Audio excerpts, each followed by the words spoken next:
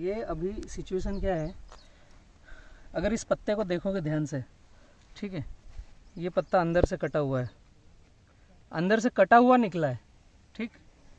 अब ये पौधे की ऊपर की चोंच है है ना? जो पोंगा सामने से निकलता है, उसका मुँह है ये, ठीक है? और पहले से कटा हुआ यहीं पर रखा हुआ था। अभी मैंने हाथ लगाया। मतलब ये इसके साथ में निकल के आया, कटा हुआ। अभी काफ़ी सारे किसान इसमें ऐसा समझेंगे कि ये वायरस आ गया या कुछ हो गया तो ऐसा कुछ भी नहीं है। इस पत्ते को भी देखोगे तो अंदर से फटा हुआ निकला है। हम्म। ठीक है? आपने मक्का में समझा होगा एक इल आ रहा है मक्का में मक्का जब लगाते हैं ना तो उसमें स्प्रे नहीं करेंगे तो मक्का को बढ़ने नहीं देगा चोंच खा जाएगा। तो इसमें तना छेदक ऑलरेडी आ चुका है जब ये पत्ता यहाँ पर होगा। जब तना छेदक ने इसको टच किया होगा उसका असर अब दिख रहा है जब पत्ता निकल के बाहर आया। जैसे ये पोंगा ऊपर बढ़ रहा है और इसको कहीं से थोड़ा सा चबा दिया। अब ये खुलेगा तो फट फट के निकलने वाला है बाहर।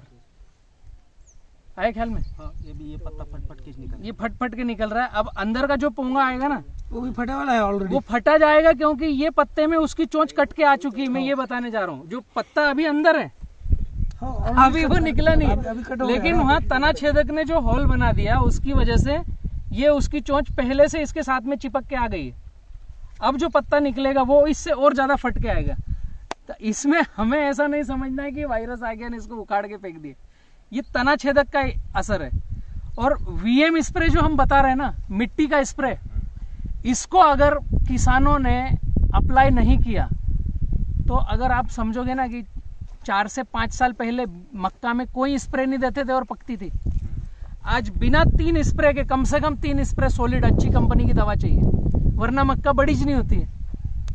भाई मक्का पकाना है इतनी बड़ी भी हाइट करना है। उसमें ये जो इल आ रही है सेंटर पोंगे को खा रही वही अभी केली में आ रही है। बुरहानपुर का मैंने आपने अगर वीडियो देखा हो तो एक साल पहले का अ, मैंने बंच का वीडियो बनाया था कि एक तरफ़ से पूरा पीला हो गया एक तरफ़ से हरा है।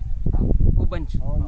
उसके खेत में जाकर आप देखोगे ना तो यहाँ पर छेद हो चुके हैं तना छेदक के।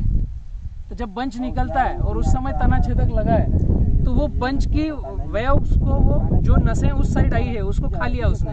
अब उस तरफ़ का कलर अलग रहेगा। दूसरी तरफ़ का कलर अलग रहेगा। तो ये आने वाले समय की भविष्य की ये और बड़ी बीमारियाँ हैं। अगर इसको मिट्टी का स्प्रे करते रहे आप होगा क्या उससे? पूरे पत्तों में मिट्टी की खुशबू रहेगी और मिट्टी का अर्क रहेगा। किसी गाय भैंस को जानवर को जो शाकाहारी प्राणी है जो पत्ते खाता है मिट्टी का स्प्रे किया हुआ आप उसको खिला कर देखो। खाएगा नहीं। वो खुशबू ही काफ़ी है अपनी दूर हट रहा है। तो इल्ली क्या करता है? शाकाहारी प्राणी है ये पत्तों को खाता है। हम्म। शुरुआत करना ही पड़ेगा हर किसान को वरना हमारा छोटे से बड़ा पौधा ही नहीं होगा और उसमें कई सारे इल्ली भगाने की दवाइयाँ मारने की दवाइयों का स्प्रे करना पड़ेगा। ये शुरुआत हो चुकी है। ये गुजरात में बहुत ज़्यादा है ये चीज़। आपके यहाँ ये पत्ते पर मेरे को दिखी तो मैंने सोचा आप सबको दिखा दो। ओके